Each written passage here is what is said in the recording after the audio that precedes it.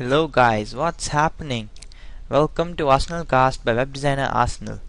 I'm your host, Jodhpreet Singh, also known as JS.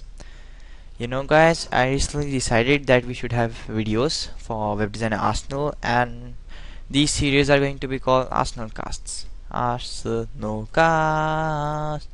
So welcome to the very first one. And in this Arsenal Cast number one, we're going to review Google's Web Designer, the latest tool to make web designs and ads by Google, which has caused a lot of hype in the web designer community. So here I have installed. Let's get cracking to the review straight away. I hope not to make it bad. So the first one uh, we're going to have a look at is the looks of the software.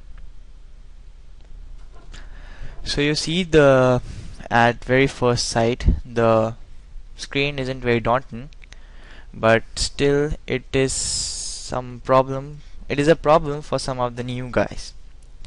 You see the icons are neatly arranged and the columns are really nice and they're stacked properly.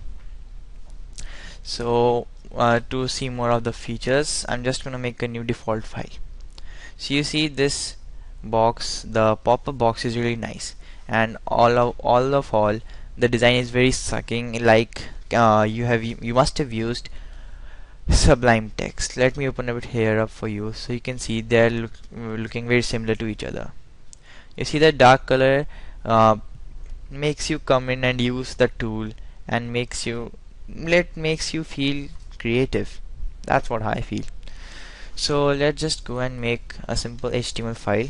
We're just to say test file name test for WDA and just want to save it anytime. Okay. Just a second for it to load and here we have the screen. So you have the looks the tools and the icons are really neat. And even in my full 1080p that is 1920 by 1080p no sorry 1980 by 1920 by 1080 uh, pixel screen screen. The looks are really amazing and the icons are really sharp. I'm really happy to use this and I'm finding the looks to be really nice so this was the looks. Now is the time for usability. Hmm. yes. So now it's time for usability. And what I want to do here is uh, have a look from of web design web designer from a beginner's perspective. The first time a really newbie uses it. And believe me I've been there.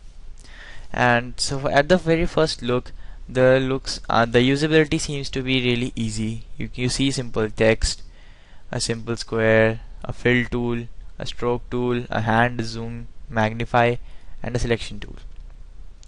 All in all the usability, usability is quite easy to understand and use.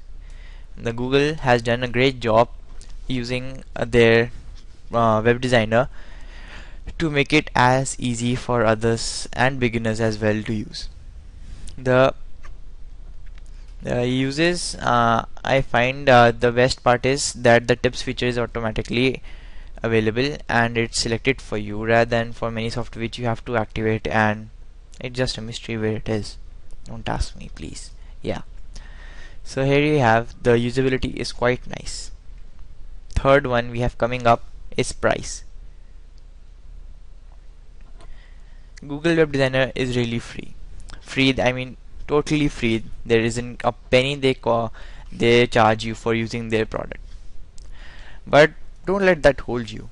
You see this uh, the web designer might be free but to its competitors like web dreamweaver who are really costly it's nothing. And the worst thing I thought and I found in web designer was that it was really lacking features. It might be free but it's no use if there aren't features let me show you an exact quick example. You see just just this many to uh, these limited number of tools we have. And I really was digging around. And I could not find any more option to add more to these. Also I've been using and the text tool does not have any uh, H1 or H2 simple things like Dreamweaver has. I've uh, reviewed Dreamweaver in the past and it's been a real pleasure. Believe me Dreamweaver is really awesome as a web designer's tool. But Google Web Designer I really really think it has put me the thought whether it's for web designer or for ad designers. As you can see it's for banners and Google ads are the main target and focus here of the project. So it's just a name for web designer not work last and last. I want to touch upon features that can be improved by Google to improve or enhance and maybe make this product of this web designer really popular and successful. So you can see the first one I have is the limited number of options. Just this many tools and this many here I am uh, condemned by the nice looks of it the code and there isn't any split preview like split view where we can work together in Dreamweaver like where we have the code as well as the design and we can edit live. The first is this. The second is the there aren't many features for web designers as you can see. The main focus as I said before are ad makers. And we can see the ads have really great options but there are only four formats of files and really really no options for them so I guess that in future that Google will improve upon this feature and really help others to do it. And with I hope this uh, product of there becomes popular because I really want to see it grow. It has real potential for it. So let's have a wrap of all the things I just spoke. As far as looks are concerned the looks are really nice. The usability is quite easy and are welcoming to beginners. The price is totally free and what's the best part of this?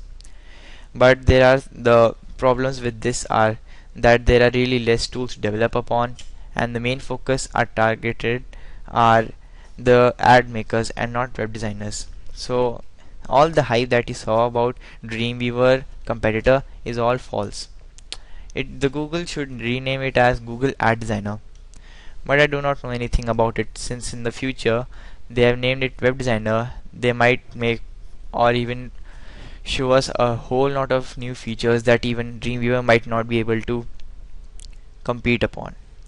So this was my Google Web Designer review and for all the people I've made uh, I've written it the, about it in the past in a blog post which I'll be linking to it so you can see the looks usability price and what can be improved and the wrap up if you are finding uh, if you want to know more about the web designer Google's web designer go back to my post and I'll link it to you and I hope for the best and I think I covered as much as I can possible and help you out with your problems.